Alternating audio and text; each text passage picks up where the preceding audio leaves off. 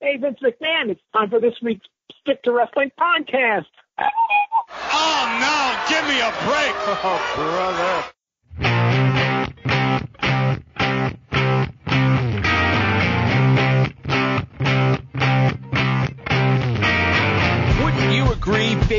And me got a groovy kind of love for the Stick to Wrestling podcast. I want to thank Phil Collins and whoever else sang that back in the 60s for writing that song about their favorite podcast, Stick to Wrestling, where if you give us 60 minutes, perhaps indeed, we'll give you a wicked good and raw bone podcast. This is Stick to Wrestling. I am John McAdam. This is a weekly podcast that mostly discusses classic wrestling from the 70s, 80s, and 90s. Uh, if you give us 60 minutes, perhaps indeed we'll give you a wicked good and raw bone podcast. Stick to Wrestling is the recognized symbol of excellence in podcast entertainment. Before we get rolling, I want to invite you to join us on our Facebook group. If you just uh, search Stick to Wrestling, it'll come right up and you're in. We talk about all kinds of wrestling topics and other topics. Like this week, I posted that it was 45 years since the first Sex Pistols album came out, and everyone had an opinion on that. Uh, if you want to follow me on Twitter, just search for John McAdam and follow the guy who has the Stick to Wrestling logo as his avatar. Let's get rolling. I have one of my favorite guests on, on yeah, I don't have him on often enough. I don't know why, but he's always great on the show. My friend from the 80s, Jeff Bowdren. And Jeff, how are you? It is always a pleasure to be on with uh, the man who is the recognized symbol of Chess King. Uh, you mean, uh, Chess King used to be in the malls with the skinny ties, John. I don't know if you remember them or not. Uh, Chess King, are you kidding me? I, I there, not a month would go by where I, I wouldn't be dropping dollars at Chess King. Did you wear the little Italian boots? That's what I want to know. I'm afraid I did. Okay. All wow, you got, I came out of nowhere and you got me. I had to go into Boston to get those. So a absolute pleasure to be here as always. I understand we have a mailbag segment for today. We do. Uh, If you are part of the Facebook group, you had the opportunity to be part of the whole Stick to Wrestling, this, this very episode of Stick to Wrestling. You got to ask a question. But before we get rolling on that, Jeff, I, I knew coming in that you would have a surprise talking point for me, and you said it when we got hooked up. So well, what's on your mind? Well, so I reached out to my uh, venerable co-host, uh, Lord Barents Rose, and I said, oh, yeah, I got a couple uh, of ideas for show topics. Uh, uh, I got this one, I got this one, and what do you think about this one? And he's like, yeah, give that to McAdam. So I decided then uh, that I would uh, throw. So, uh, Damn you, Barons. are, are you familiar with uh, the uh, the Superman comic books? Very uh, limited Okay. knowledge of. Uh, I, I went through like a, a phase in fifth grade with them. Okay, what, what about Seinfeld? Are you familiar with Seinfeld? I I watched it in the '90s, but I probably haven't watched it in ten years. So they they have they have something in common besides the fact that uh, Superman appeared in every single Seinfeld episode, usually on Jerry's refrigerator. But there was an episode of Seinfeld called uh, where they talked about Bizarro Jerry, and just like Bizarro Jerry, there was a Bizarro Superman edition. So my question for you, John McAdam, is we're going into Bizarro Wrestling World, early '80s. Okay. Huh? So let's say in this bizarro world, Vince McMahon Jr. does not buy his father's company. And let's pray that Vince Sr. Uh, maintains good health and continues to run the company. He decides that it's time for Bob Backlund to lose the strap. He does not want to go the Hulk Hogan direction. So John McAdam, who would be Vince McMahon Sr.'s choice to replace Bob Backlund at 82, 83-ish. What do you think? Okay, well, I thought that, I mean, when Don Muraco came back 40 years ago, I thought for sure he was going to have a superstar Billy Graham type run with the championship, and then he would be replaced by someone. Now, who could that someone be? Ah, therein lies the key question. And that's a tough one.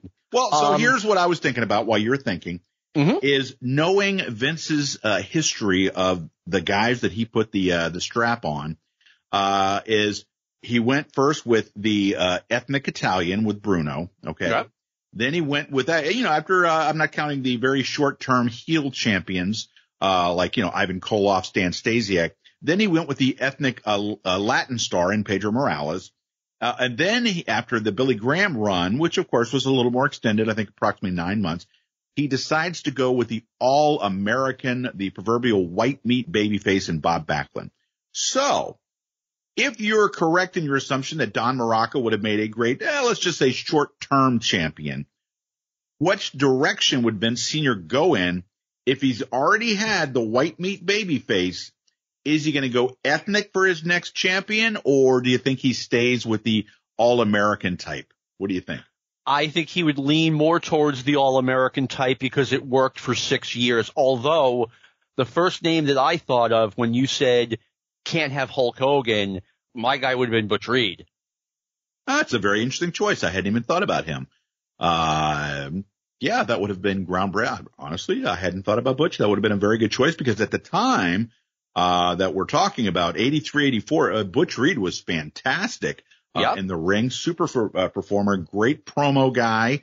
Uh, you know, um, that's a very intriguing choice. The guy that I thought of that had gotten, uh, uh, some national exposure and then he would have, uh, you know, of course he eventually turned, but I think Paul Orndorff would have made an interesting choice because he had gotten over, uh, on TBS as the, uh, kind of the ass kicking baby face.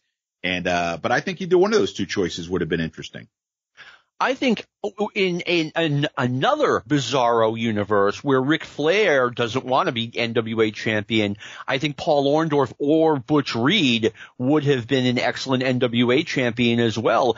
And how about this? What if, what if Ric Flair wanted to be NWA champion during the Hulk Hogan era, but Jim Crockett said, no, we're going with Butch Reed because you know, the NBA has Michael Jordan and Magic Johnson, and who who's going to watch TV and really think that Hulk Hogan would have a chance in a fight against Butch Reed?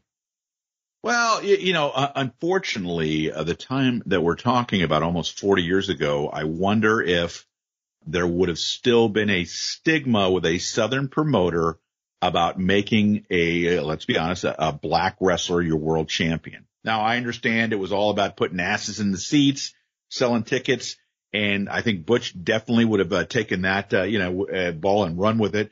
But you have to wonder whether old school Southern promoters would have been willing to do that. Uh, well, I mean, uh, I mean, let's face it. I mean, by this point, it's really in the hands of one person. It's in the hands of Jim Crockett. And, Fair point. You know, Crockett, again, he's in North Carolina. He saw what Michael Jordan did at North Carolina. He saw what, uh, you know, he saw what was going on in the NBA. He saw what was going on. Yeah, Reggie Jackson was the biggest star in baseball. Maybe not 1984, but certainly five years earlier. So, you know, uh, you would, basically I would have gone in a completely different direction than the WWF and maybe had gone with Butch Reed as just your ass kicking babyface champion who just, you know, he's your Hulk Hogan and everyone thinks Butch Reed is going to beat Hulk Hogan in, in a legit fight. Well, but in that time frame that we're talking about, 1983, would Butch Reed have been the choice or would JYD have been a better choice? Butch Reed all day long, Butch Reed. Well, no, no, I'm just saying because JYD was such a, uh, a, a, cultural, uh, icon and he was someone who had been put in that position by a promoter, had been incredibly successful. Uh, I think that would have been an interesting choice also. I, mean, I think 40 I think, years ago, you can, you cannot have an NWA champion named named the Junkyard Dog. No, that's one. true. That's true. I'm not talking about. I'm talking about Vince. Uh, if Vince, uh, I'm sorry to make that clear. I'm talking about if Vince Senior had decided to go with a black ah. world champion, would JYD have been somebody more in line of what he would have wanted than Butch Reed? I think obviously in the ring, Butch Reed uh, would have been a better choice. Uh, you know, if you want to talk about your, uh, your ass kicker, uh, I think Butch Reed would have been a better choice, but JYD, uh, he might have meant more at the box office, you know? But by 83, JYD had gotten really heavy. I mean, Bill Watts was on TV apologizing for how heavy he got. I mean, like, oh no, he's, he's got to put on the extra for the weight. winter. Yeah, what, exactly. what he used to say, yeah. Bulking up for Kamala. Yeah. You know, and like, you can't have a WWF champion who is that out of shape, especially given when you had uh, other options. And, and JYD in Mid South was starting to run its course as every ba- every top baby face does, with the lone exception of Bruno Sammartino. So one of the uh, guys that we have not uh, mentioned that could have been an interesting discussion. What about one of the Von Erich boys? Uh, I mean, if Kerry had his head screwed on straight, but again, that's another bizarro universe because he didn't. Had David not died, well, he did. Well, you, know, you and I probably have the greatest uh, combined, uh, what's the word I'm looking for? We think more highly of David Von Erich than most people. Well, I, I, you know, it's like one of those things. If you combined the three brothers into one guy, I mean, he would have been incredible. You know, uh, it, Kerry's uh, physique, uh, Kevin's fly, you know, ability to, to do the flying maneuvers, and David's uh, just smarts and mind for the business. Uh, I think he could have been an, imp- an incredible performer. I, I mean, they all had their positives, but they all also had their weaknesses. There's no question about it. They they did. I mean, David was a little bit skinny, but he died when he was what 24, 25. He would have filled out just like his old man did. Yeah, I, I don't think you know so, something that uh, I read many years ago is that when the NWO was at the height of their powers in eh, late 80s, around 2000, that David Von Erich would have been the same age as like Kevin Nash and Scott Hall. So think about how many more years that David Von Erich could have been a figure uh, of you know of power in the wrestling business, whether it would have been uh, in the NWA and his dad, if his dad's promotion would have kept going, whether he would have gone to either WCW or the WWF. I mean, he, I think he would have certainly been somebody who would have been held in a certain amount of esteem, you know, by, uh, by wrestling promoters. I feel like I am the first person that pointed out that David Von Erich was about the same age as as Bret Hart, uh, Kevin Nash, Scott Hall, etc. He was so young. Had he not died, he absolutely would have been part of the Monday Night Wars, in my opinion. Jeff, you, you mentioned something. One of the hardest things for me about doing stick to wrestling, which I love doing, but sometimes it's, it's hard to come up with a topic. And you, I, you know, this is show what, like number 240 something for me. That's a lot of topics to come up with. Try doing it 265 times. I, I will uh-huh. eventually. Oh, no, as Breaking Kayfabe with Bowdren and Barry already has done. Thank you. Appreciate that. Yeah, and it is an outstanding podcast. I, I absolutely want you to plug your podcast. Tell, tell us a little bit about it. Uh, it, it's a fun little podcast here on uh, what's the network again? Uh, something about Brian Last. I don't know. One of the uh. one of the people. But uh, yeah, we uh, much like uh, we like to say, we don't just stick to wrestling, John. See what I did there? Uh, you know, we have a, a, variety of topics. Of course, there's always a wrestling related topic, but we also discuss movies, television, music, pop culture. We discuss life. There you go. And by, for those who are unaware, stick to wrestling. It, it's kind of if someone doesn't like something I'm saying outside of the wrestling wrestling realm, I'll get it. Oh, stick to wrestling, and like the name of the show is kind of my middle finger to that. Oh, okay. You know me, my middle fingers to everything. I think we should get rolling with some of these questions, oh, sir. Please, let's. All right, you go first. You're the guest. Oh, well, I haven't pulled up the Stick to Wrestling site here on my phone, so why don't you take the first question? Oh, okay, I will. And this is, I like this question, Jeff, because it's like two questions kind of baked into one. It's from Aaron Cushman. At the peak of your fandom, what was your TV wrestling schedule like on a typical week? Jeff, what was the peak of your fandom? Uh, probably, I'm going to say mid 80s. Uh, when I was uh, married to the first Mrs. Bowdren, she who shall not be named. Okay. Uh, I would go with the, uh, let's see, eh, of course, the uh, Florida Wrestling Show, noon on WCIX Channel 6 in South Florida. Then we usually went, uh, TBS at 605 uh, remember when there used to be a 605 podcast, John?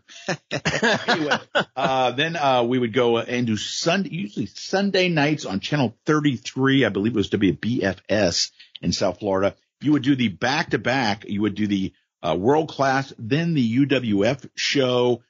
so it's something along those lines. What about you? I kind of had three peaks, okay? And they were almost exactly five years apart. Number one was 1976 when I first fell in love with it and then I started getting the magazines. And the TV schedule for me, one hour a week, uh, channel 56 at 11, 11 o'clock on Saturday morning. That was it. We try, I tried getting the All-Star Wrestling, which was on at noon, uh, from Worcester, and rarely would I get a picture. Sometimes I would just get sound but then most of the time I would just get nothing. Like if there was a cloud in the sky, forget about it. Then five years later, I started going to the, to the Boston Garden for WWF wrestling every month, which kind of upped the game a little bit. It was like a dream come true. I finally got to do that. And then at 1987, I started getting the Wrestling Observer newsletter and started trading tapes and I got to enjoy not only seeing wrestling from all over the place, but I got to see wrestling from years past that I read about in magazines. And I also got to see the side of the business that, that the observer presented. So, you know, every time, th- those three times, I got that little boost. Well, what was your first edition of the Observer that you got? Do you remember? Uh, I really don't. Re- I remember that they were discussing WrestleMania being at the Pontiac Silverdome, and Dave saying that they weren't going to fill it, and they did. This was like the very end of 1986. Uh, mine was, uh, June of 86. I want to say it was Kerry Von Erich's motorcycle accident. Ah. Uh, that, and I know, uh, Billy, Billy Jack, I think either was leaving for the WWF or was in the WWF and leaving there, but it was something to do with him leaving a promotion. So, as always. Yeah, I know that's a Jack huge, was something. Yeah, huge stunner. So, uh, all right, you want me to just uh, pick a question here or go in any kind of particular order or what? I, I want you to pick your favorite question. Oh, let's see here. Uh, I'll take, uh, Nick Minechi. Do you think Memphis is the only territory that the Kaufman angle could work in? Lawler was the perfect opponent, vastly, uh, in my opinion, underrated on the mic. That's correct. Uh, and I can't think of any other person who Kaufman could have played off of so successfully. Um, I think not only is Memphis the only territory that it could have worked in, it's because I think really he tried to uh, work something out with Vince Senior, who apparently mm-hmm. was appalled at the idea of a uh, television performer coming on a wrestling show and engaging in any sort of wrestling or cutting any kind of promos or anything like that. And so I believe, uh, correct me if I'm wrong here, John, that it was Bill Apter that put him in touch with uh, Jerry Lawler and Jerry Jarrett with the uh, kind of floated the idea of him coming into Memphis and uh, and working the angle there. And based on the timeline, I certainly couldn't see somebody like Eddie Graham or Bill Watts doing it. Uh, so I think Memphis was the perfect uh, choice to do the angle and might have, in fact, been the only one forward thinking enough to actually do the angle. Well, a couple of things. Um, the Kaufman angle I mean, I'm not going to say it didn't work, but I mean, you watch some of that as it goes on. You know, the first match drew really well, and then after that, it really started to fall off. There were a lot of empty seats in the Mid South Coliseum. You could see them on the "I'm from Hollywood" uh, special or whatever it was.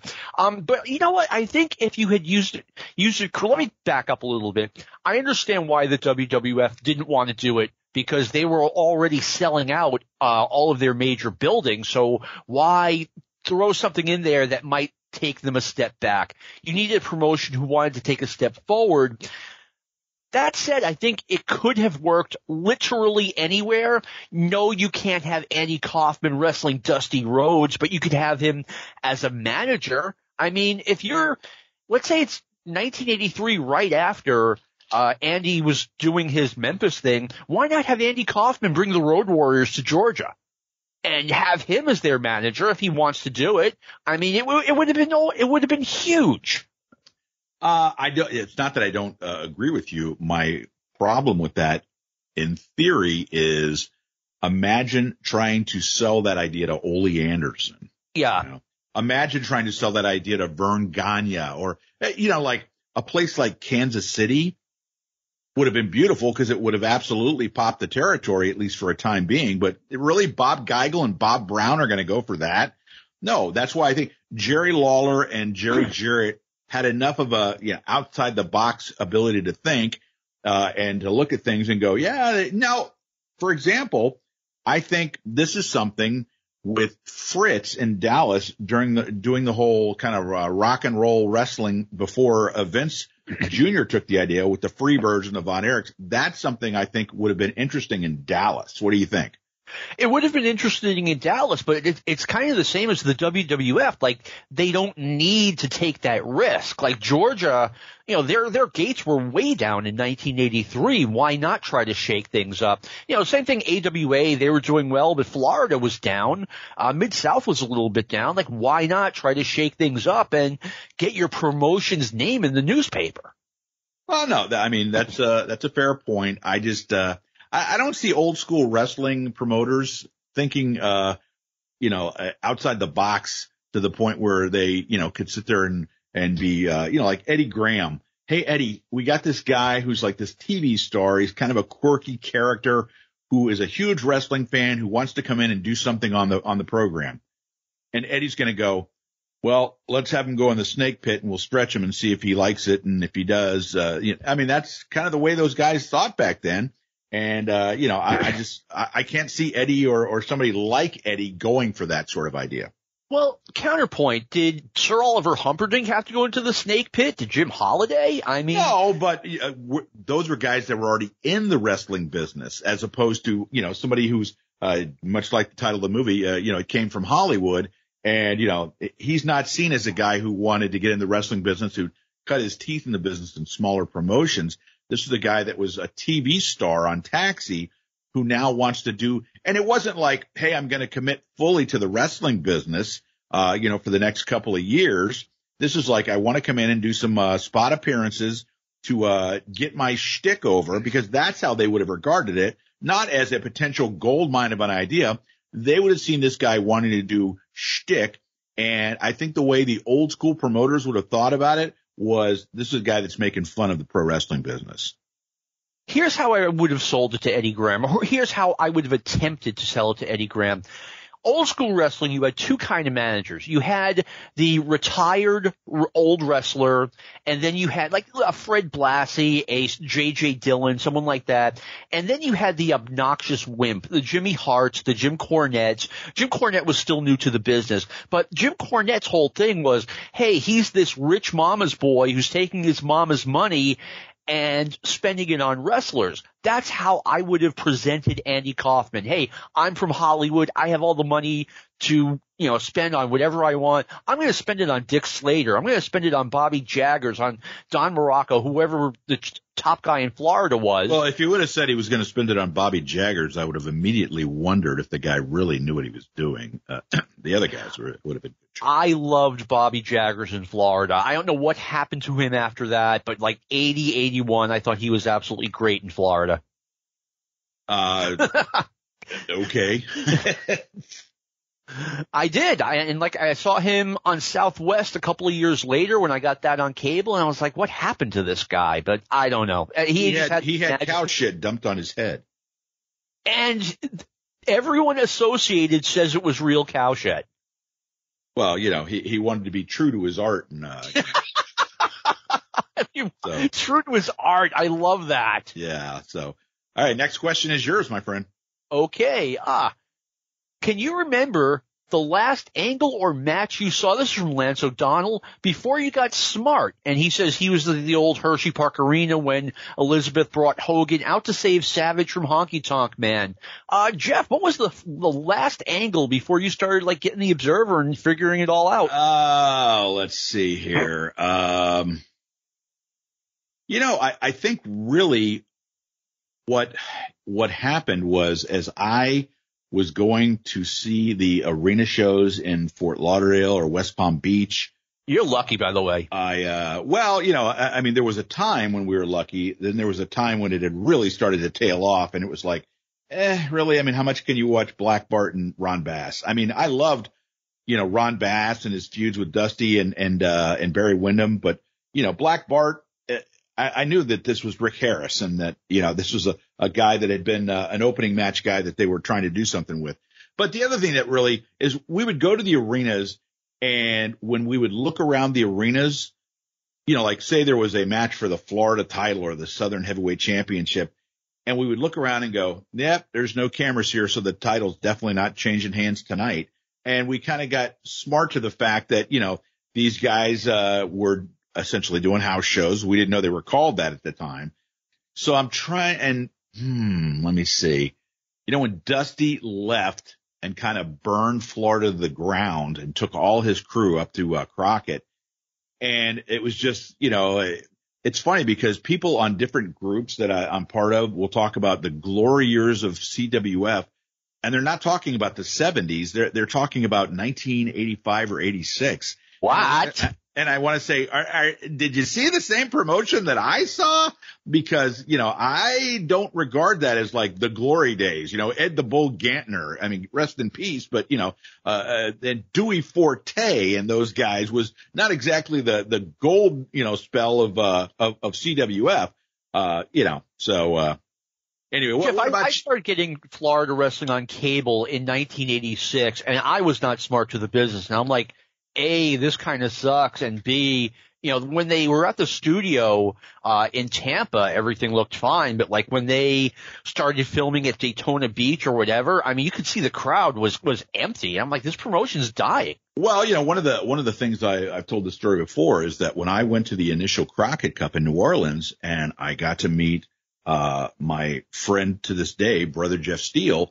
And, you know, we're, we sit there in the, in the stands just talking wrestling and we agreed, uh, you know, Hey, I live in Florida. I can make uh, tapes of the promotion and send it to you. And he said, fine. I uh, live in Mississippi. I'll, I'll uh, tape the, uh, the UWF or the Mid South show and I'll send it to you. And I'm like, yes, I'm going to get to see some friggin' Mid South, man. And cause I was a huge DiBiase fan. And so he sent me the tape and it was I think it was literally within the first week or two that they had switched from Mid South to uh, the UWF. And so, and then I sent him, you know, four hours of uh, CWF. And uh, so I was talking to him on the phone. He said, "Oh, did you see the tape?" I said, "Oh man, it was awesome. You know, seeing the highlights of the Crockett Cup and and all this kind of stuff." And I said, "Oh, what'd you think of the uh, the CWF uh, tape?" And he goes, yeah, you don't need to, uh, you don't need to send me anymore. I'll still send you the Mid South show, uh, but you don't need to send me anymore. Uh, he goes, I've seen enough of Kendall Windham. Ooh.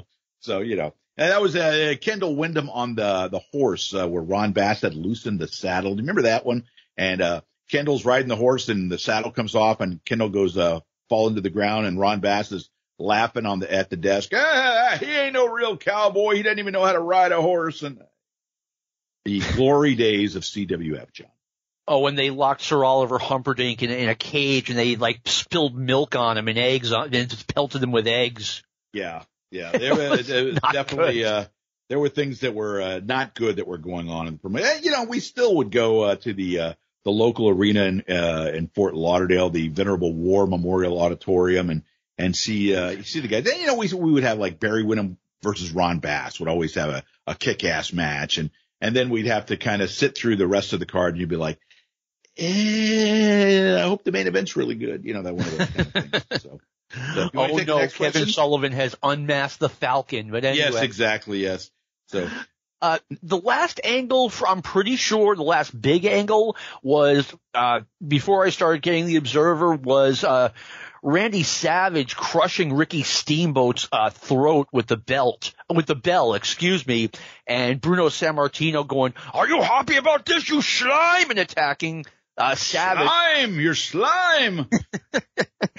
and even then, like I knew, I was like, okay, they're going to have a match at WrestleMania and Ricky Steamboat's probably going to win the title. Like that's, you know, even without the observer, I'm like, okay, I can see where this is going. Yeah. So speaking uh, of WrestleMania, uh, Rob Nelson asks, does WrestleMania 3 represent a coming out party for the WWF on a national level? Jeff, what's your opinion on that? Uh, no, I think the, uh, WWF coming out on a national level was WrestleMania 1. so, because, I mean, it was like, you know, they had all the build up on MTV and, you know, I, I don't know if people of a certain age, uh, John, that uh, means uh, you and I. Unfortunately. Uh, I don't think they can appreciate just how huge MTV was at that point, you know? No. Uh, I mean, it was just a, literally you'd come home from work or from school, you'd flip on MTV for two hours and watch stinking music videos, you know?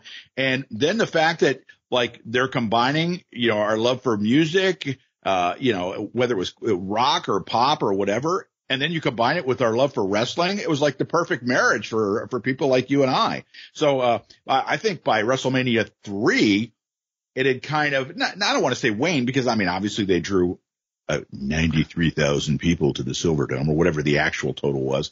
Uh, I, I mean, I think that was Vince really kind of trying to put his money where his mouth uh, was. But I think really the first one was where he really attempted to go like kind of on a grand stage.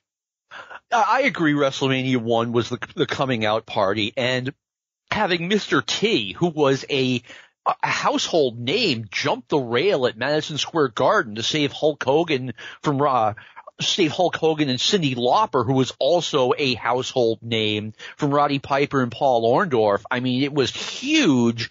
And I mean, Saturday Night Live was still a really big deal back then. And Hulk Hogan and Mr. T were the guests the, the night before WrestleMania. Mr. T was on the David Letterman show. I mean, it was everywhere. But I will say this. I do think WrestleMania 3 took it to a higher level. Just it wasn't the coming out party. Yeah, no, that's fair. So, yeah. all right, uh, I will take uh, next. Brian Crawley wants to uh, know, in my opinion, the biggest blunder in wrestling was Ric Flair going to the WWF. It started off great. The match at the LA Sports Arena with with uh, Hogan was hot, but the booking was horrid. How would you have booked Flair's first WWF run debut to exit? Well, let's uh, take this uh, question or comment in a different direction the fact that they basically had him debut and started running the program at house shows, I think that was a mistake. What do you think, John? I think that was a tremendous mistake. I know I've, I'm not, I, let's take a step back. Supposedly Sid Vicious, Sid Justice, whatever, was promised the, the main event at WrestleMania 8. Uh, the NWA, WCW offered him the world's heavyweight championship at the Great American Bash. And the reason Sid said no to that was to go to the WWF and headline a WrestleMania. And I would have said to him, Sid, you'll get to headline a WrestleMania next year. I mean, we've had this Hulk Hogan versus Ric Flair dream match land in our laps and we have to save it for WrestleMania. So I liked what they did. I liked a lot of what they did with Ric Flair in the WWF. I mean, I liked how he accidentally hit uh, Vince McMahon with a chair and we'd never seen anything like that before. Um, yeah, we saw it in 77, but back then Vince was just the announcer. Everyone knew, uh, by 91 that Vince was running the show. So I like the way they kicked it off with the feud with Roddy Piper. I love the feud with Randy Savage with the whole she was mine before she was yours thing. At the end of the day, I would have saved the first ever Ric Flair versus Hulk Hogan match, and they for real had never wrestled before for WrestleMania 8 in Indianapolis. Yeah, no, I think that's uh, very. I, I think that's what people really were sort of anticipating uh, in hindsight. I think that, uh, you know, they, they, I know they did the matches out in LA and I think they did one in Oakland.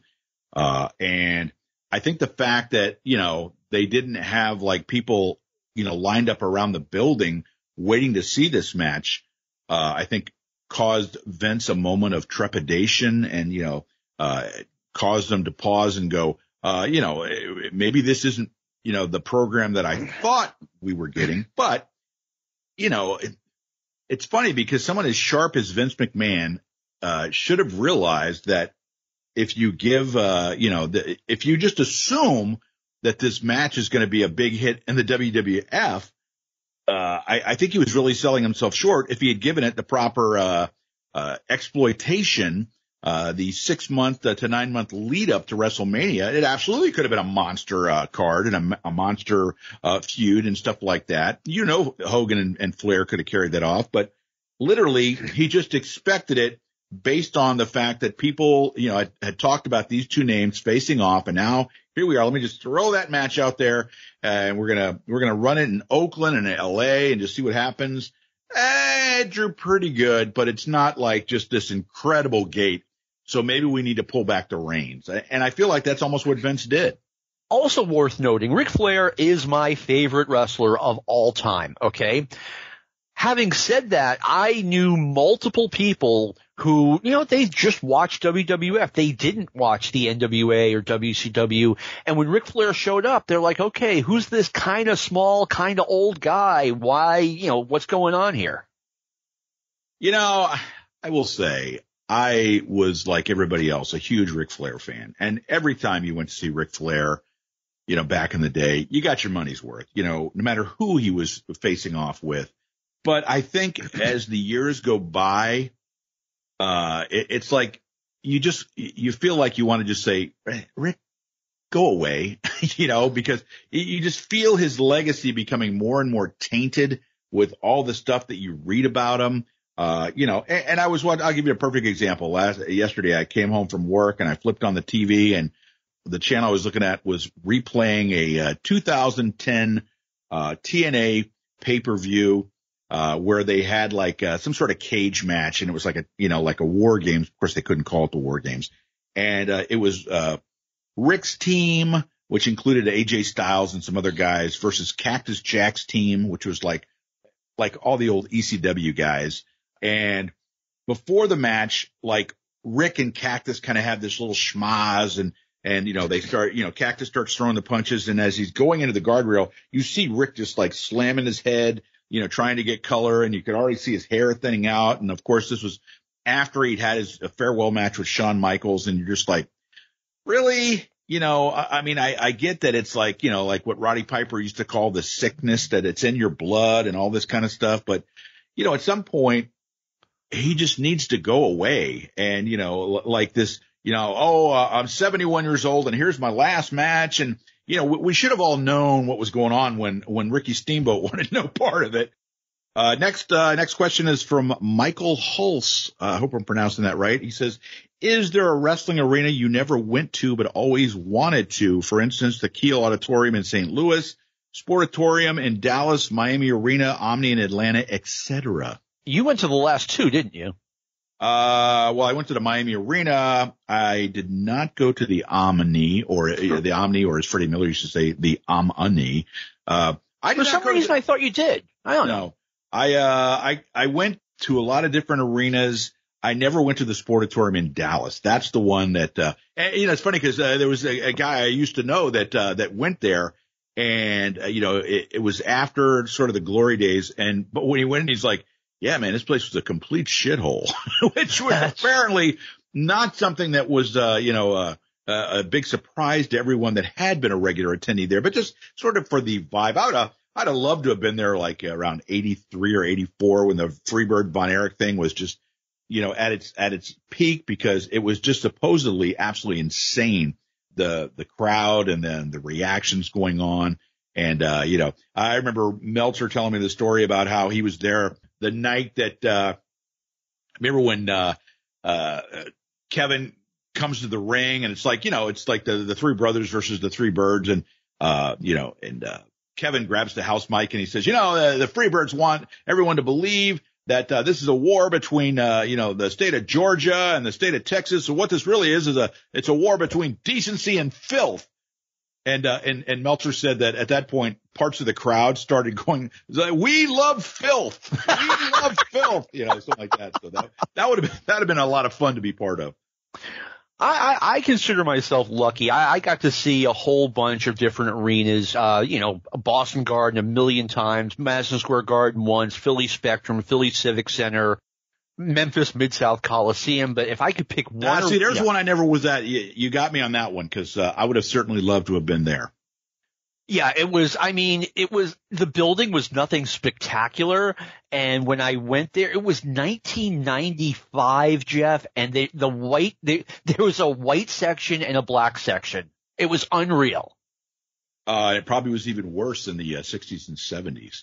Yeah. you know, I, so. I didn't really notice anything when I went in 88, but I definitely noticed in 95. I'm like, you know, what the hell, people?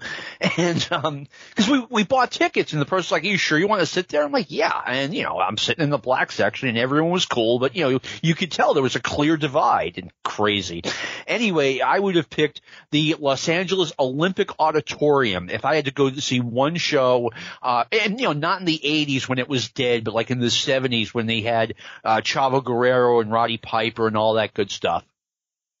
Uh, wow. Yeah, that was a building that was, uh, supposedly crazy. And, uh, some of the stuff that Piper used to do to get heat with the, uh, the Latin fans was just kind of, uh, like, you know, God bless Roddy Piper because man, that, that guy, uh, he uh, certainly lived at the end of that proverbial lightning bolt with some of the Yes. stuff that he was saying, and you know, like uh, where literally Chavo wanted to fight him in the dressing room, and he'd be like, you know, hey, I'm trying to, I'm trying to make us both money here, you know, because he would go out there and. Uh, you, you know, the famous incident where he said, uh, I'm going to have Mrs. Uh, Guerrero in my corner. Chavo's mom, uh, is going to be in my corner next week. And then next week he shows up and he like brings a donkey out to the, uh, out to ringside and, and like, you know, Chavo's all upset and, you know, and, and Piper's like, dude, it's an angle. What are you doing? Uh, some guys took it all a little too seriously. Yeah, Jeff, what's the biggest dump of an arena that you've ever gone to for wrestling? oh, let me think. Are are you talking about for like an indie show or are you talking about Oh. like, uh, you know, because I, you know, like I've been to wrestling in tents, you know, like in uh, Central, like Dusty's promotion that he tried to revive, you know, like we went to a show, uh, it was Dusty versus, um, oh God, uh, Uh, Big Steelman? no, no, no, no. It was, uh, I can't think of the guy's name now. Uh, the guy that worked, uh, used to just saw his head off, um, all the time. Um, great, great, uh, mic work, great promo guy. Uh, wasn't big. And I remember when I first saw him, I was like, wow, this guy's going to be like the future of the business because he was so great on the mic. And now I absolutely, uh, I can't think any, I think he works for one of the companies like behind the scenes, like, uh, you know, um, but anyway, so w- I went to see Dusty face this guy, uh, and it was like around, uh, I think it was in DeLand, Florida, home of venerable Stetson University. Go Hatters. My daughter went there, John. Uh, and, uh, it was like literally in a tent, you know, so, uh, that, that was not a really, and you know, we went to see ECW shows in Orlando and they were in a giant tent too, you know, it's like, uh, uh, really, you guys can't afford like a high school gym or something like that. What about you? I mean, that's, I forgot. You guys have like, you know, rodeo arenas down there where you Oh have yeah, the wrestling. Davie Rodeo Arena, where that the shower after the after the show was a hose. Nothing, nothing said. Here, uh, you need to uh, clean up. Uh, here's a hose. The worst place I've ever went to see wrestling was it was actually WWF at the old Worcester Auditorium. That place was just I mean it was so run down. It was insane. All right, I'm going to take a next question from Ron Wayne. I've asked a previous version of this question from the late 70s, so it's time to go to the other end of the decade. I like this question. Of the world champion, don't uh, please. Ron's going to get a big ego now when you say that. Of Ron world Fountains of Wayne. Yeah, exactly. Uh, of the world champions on January 1, 1970, AWA champ Verne Gagne, NWA champ Dory Funk Jr., WWWF champion Bruno Sammartino, which one would fit best as champion of one of the other companies? What say you, John? Believe it or not, Verne Gagne, I think, would have made an excellent WWF champion in the 1970s, as long as, you know, he had the correct build-up. Uh, he was a big star out here in the 50s and 60s, so, you know, why not? I also think Bruno Sammartino would not have been a, a standard NWA champion, but I think he would have gotten over and he would have drawn. You know, I think as I look at this question, I think every guy that he mentions here were perfect for their own particular territory. Yes. You know, Bruno was was a tremendous ethnic draw with the Italians in the Northeast. Uh, Verne, uh, the all-American white meat baby face up in Minnesota and the Midwest, and Dory in the NWA as the traveling champion uh, who could work baby face in Texas and heel in Florida and all over. You know, he could he would be that tweener heel. And it's funny because you know that we have uh people that we both know that look back and they say Dory Funk Jr. You know, like uh, was uh, was a really boring world champion and he was a boring wrestler and you know I was going to address that. well, and you know, I think people that say that are looking at Dory Funk Jr. through the eyes of 2022, not not through the eyes of 1972, 50 years ago, because 52, you know, 50 years ago, Dory Funk Jr. Man, you wanted to see him get his ass kicked when he fought Jack Brisco in Florida, you know, and he had a great way of j- just doing really subtle stuff, like you know, he would start out, he'd shake the hand, and you sit there and go, okay, he's going to be a uh, you know, be a scientific wrestler. And then he'd get out there and everything would be going fine. And then suddenly they'd be a, a, a lock up into the corner and he'd slap the guy. And, you know, then he'd start, you know, doing like maybe, you know, uh, giving a low blow to somebody. and he just would slowly build. And if you watch the uh the All Japan stuff, and it's funny because Barry and I, for our next episode, we're doing a match from All Japan in the late '80s, and I talk about how All Japan they did such a great job of building the match from the beginning to the end. It's not like jumping out with a house on fire like one minute into the match, but by the end of the match, the crowd's losing their mind. And that's the way that Dory Funk Jr. matches were, uh, where, you know, he slowly did this build. And by the end of the match, you're like, I want this guy to get his friggin' ass kicked, you know?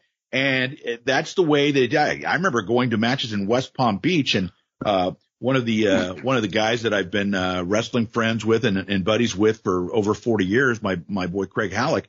I remember we were at a match and I think it was like Terry and Dory versus like uh, Butch Reed and Sweet Brown Sugar or something like that.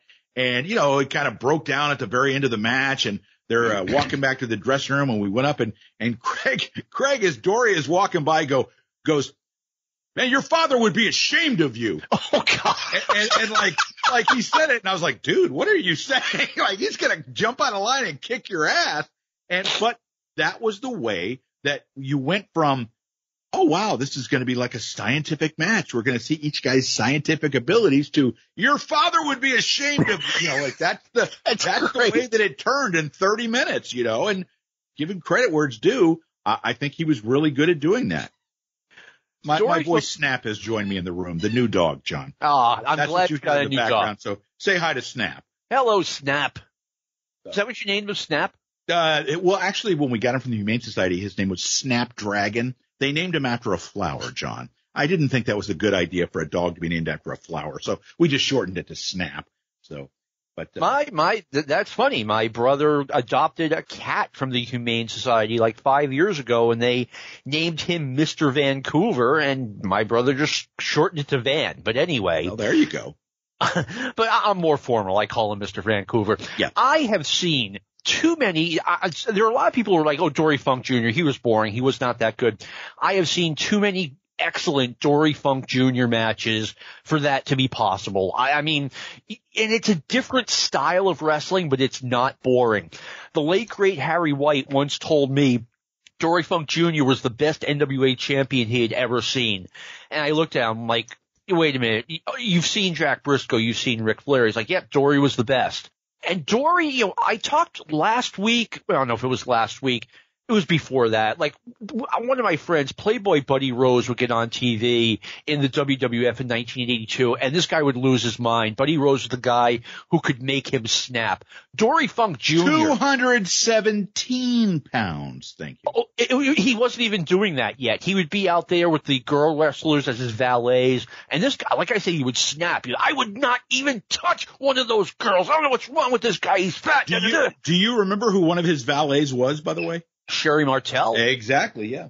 Yeah, and but Dory Funk Jr. was that guy for me because he didn't have much of a physique. He was a bald guy, and I thought he was such a weasel. He, you know, I used to get Florida uh, on cable in '80 and '81, and Dory would come out and he'd start a fight with Mike Graham, and Mike Graham would get in the ring. He'd be like, "Come on, come on," and Dory would be like.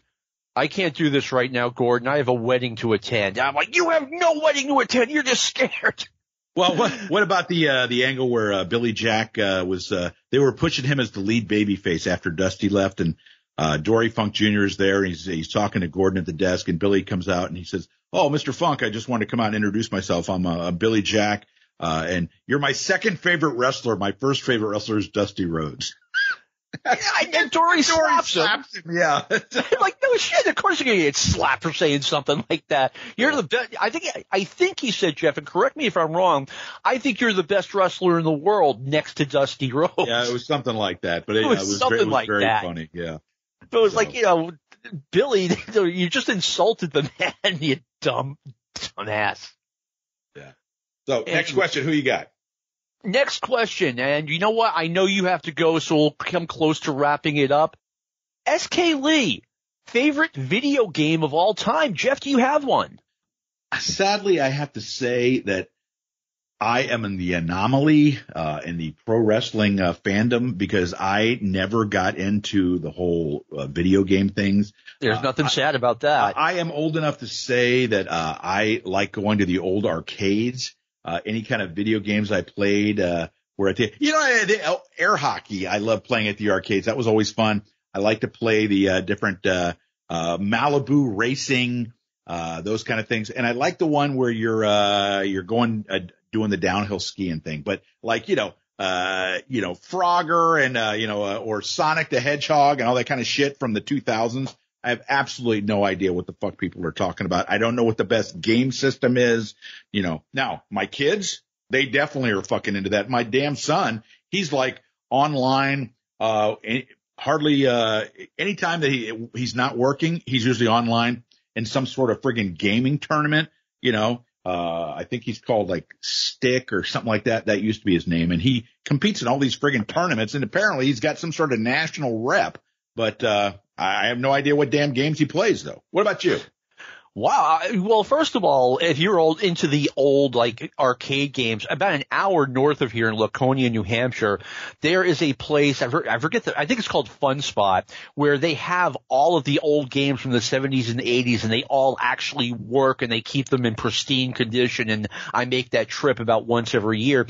My favorite non-sports game, of course, Madden's my favorite game. My favorite non-sports game of all time used to be Red Dead Red Dead Redemption, but uh, what is it? Uh, Grand Theft Auto 5 has passed that. I, it, is just a phenomenal game.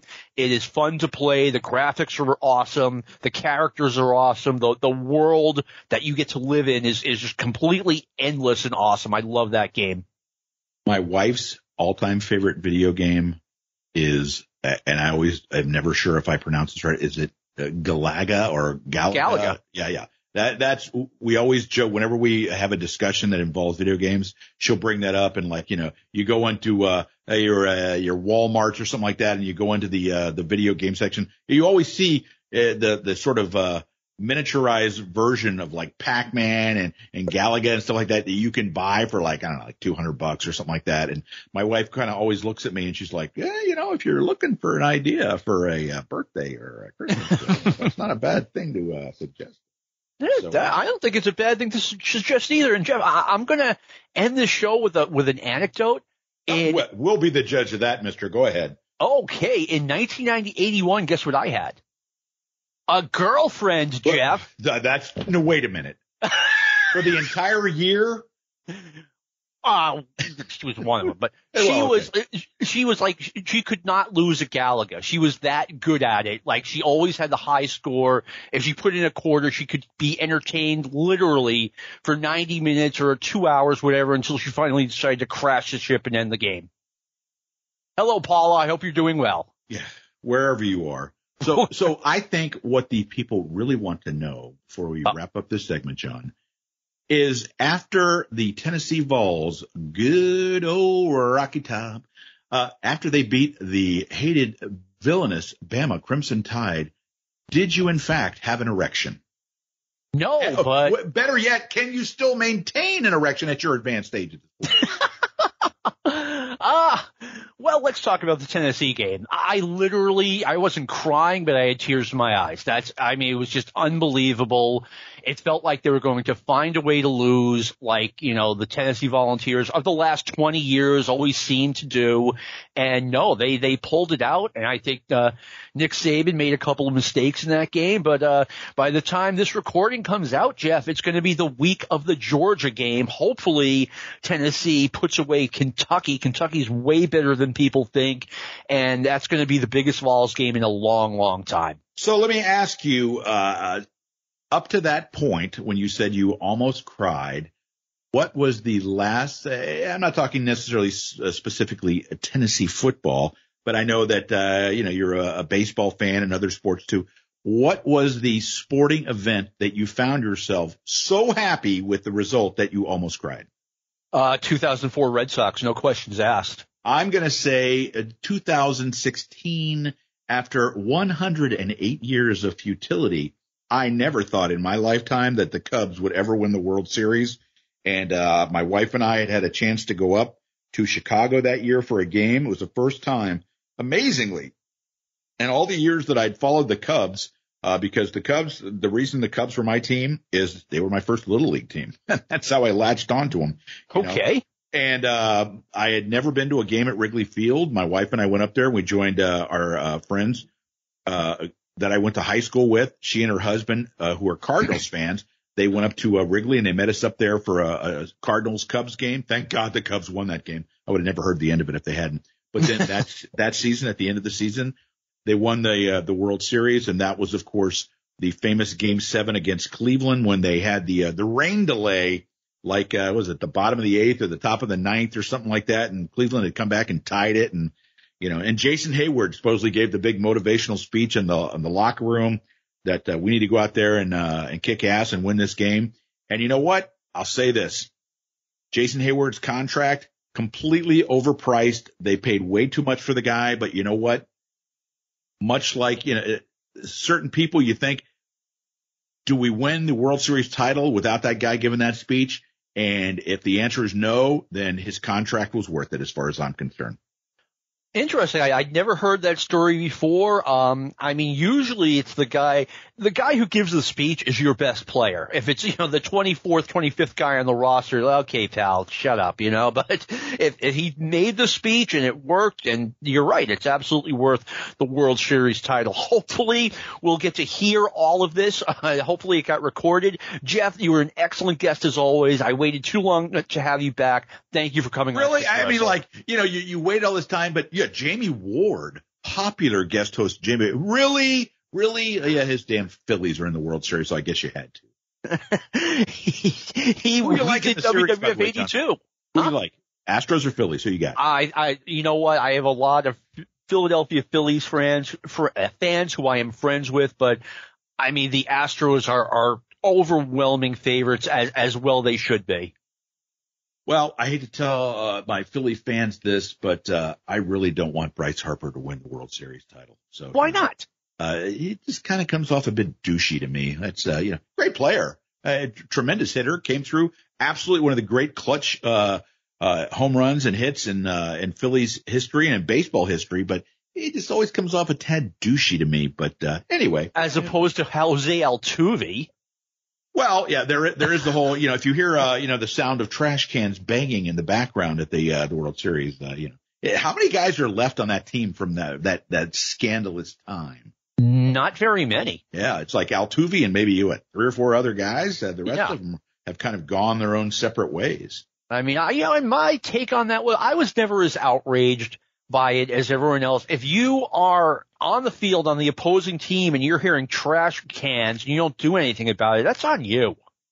Well, you know, to quote the legendary Bobby Heenan, if you ain't cheating, you ain't trying, you know, so. All right, let me wrap this up, Jeff. I know you mentioned that you got, you're going out to eat with your lovely wife, Kim. So thank you again for coming on. I really appreciate you taking the time. Absolutely. And I want to thank everyone for listening. We'll be back next week. I want to thank uh, Brian Last for giving me this forum. I want to thank Lou Kipilman for all the great work he does producing this show. And this has been a production of the Arcadian Vanguard Podcast Network. Go Vols. This concludes our podcast day.